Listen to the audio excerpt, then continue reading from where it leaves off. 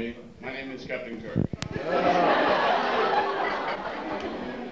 Earlier today, Chief Jim explained to you the importance of knowing whether or not you're connected or disconnected. These are important parts of ship living. But tonight, we in the deck department are going to point out to you some other important parts of living on board the ship. We're going to introduce to you the personal safety equipment. Take it away, Maestro.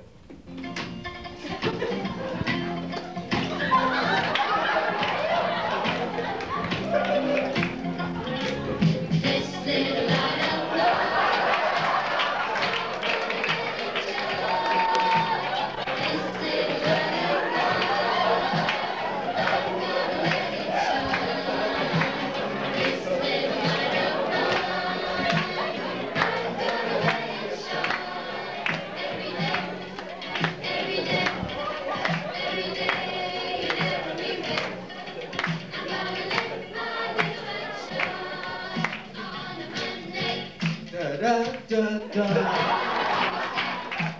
Baby, rock a while. Whoa, whoa, ho. Yeah, yeah. Tonight,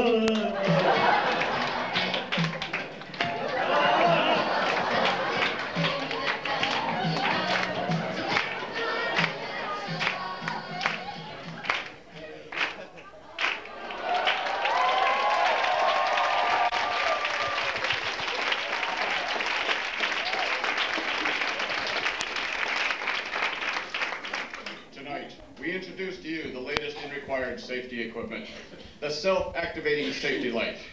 It activates automatically when submerged in seawater. It requires no batteries. It will burn for up to 12 hours. Therefore, it requires no maintenance on your part. But we ask a few things that you do for us. We ask that you take good care of your life jacket. Treat it gently. Keep it dry. This light bulb will only burn one time. Do not put it pull it off or play with it during lifeboat drills. This life jacket and light are designed to serve you during an emergency. Take good care of it. It will take good care of you. We hope that you will enjoy getting to know your life jacket better. And so we in the deck department, we salute you.